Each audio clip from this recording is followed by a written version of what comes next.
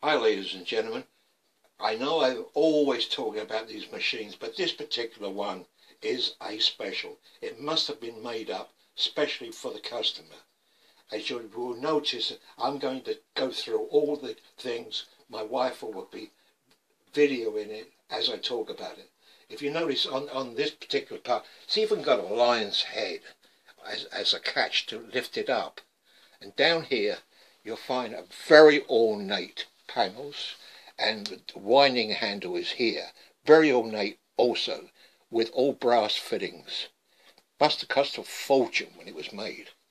If, if you go around the corner here, you'll notice just hit down here is the button. Now this particular button is to start it and to stop it. And when I pull it out, it will start the machine. And then when I push it back in, it will do the full rotation of the song and then it will stop automatically at the end of the tune. And keeping in mind, this particular machine is very, very ornate, as you can probably see in my photographs.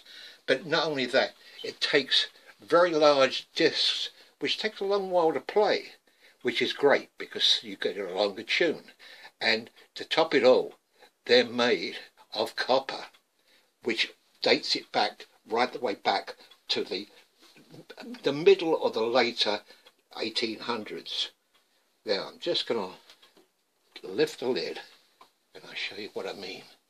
Now here, as you know, on Symphonions and all of the uh, polyphons, etc., they're never covered with glass, but this actually is actually covered with glass, which is absolutely fantastic. Must have cost a fortune, like I said.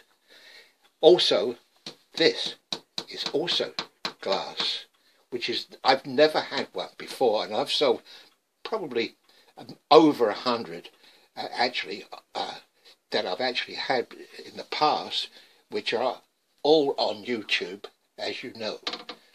Lift the lid, as you can see down here is the worst thing. Now I'm just going to start it off, and like I said, press the button and then push it back in again.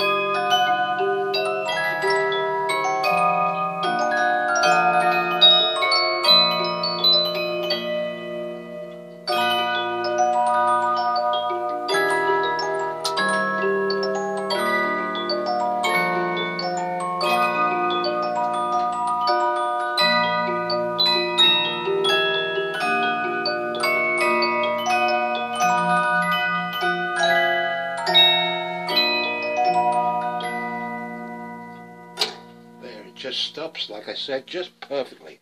Just going to close it down and then let you see it again full whack because this is a beautiful, beautiful machine.